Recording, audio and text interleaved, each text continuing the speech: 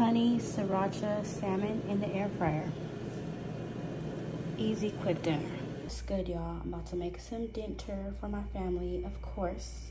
Because, I mean, let's be real, who the fuck else is gonna do it? You feel me? These these people gonna starve if I don't cook. But we're not, we're not gonna go there today. Anyways, um, I just got back from Trader Joe's and I'm about to make some salmon and I got some mushrooms that I cut up because they they looking a little old but we're gonna cook them before they go bad. I don't know how but we're gonna figure it out. Anyways let's go ahead and make this salmon and these motherfuckers better like it. I already started my rice in the rice cooker because that's gonna be the longest part of this meal. It's gonna be quick and easy. If y'all seen the video where I made honey sriracha wings this is gonna be the same sauce I'm gonna put on the salmon so easy we're gonna start with Kewpie mayo. I'm doing this with one hand. Some sriracha. And honey. Honey sriracha. A good amount. Just mix it up. And simple. That's the sauce. I'll probably add some more sriracha. It doesn't look orange enough for my liking, so I'm sure it's not spicy enough for my liking.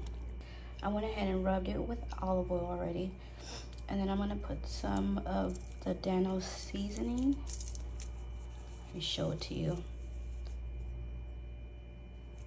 All over, okay?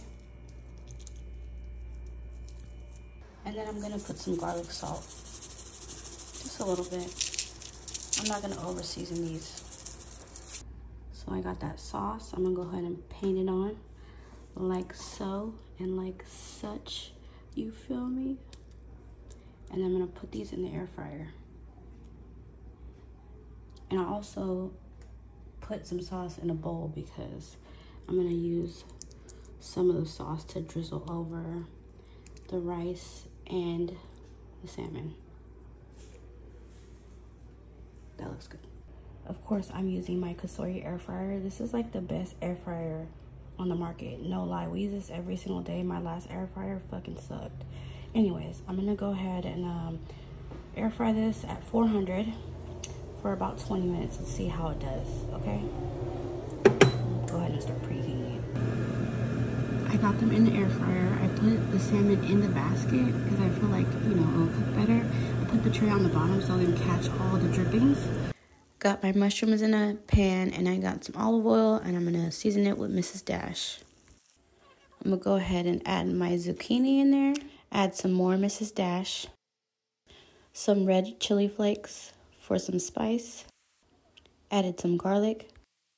Some garlic salt. And then I added some soy sauce and a pat of butter. And these are pretty much done. See that little bit of sauce on the bottom? It's so good. I make these all the time.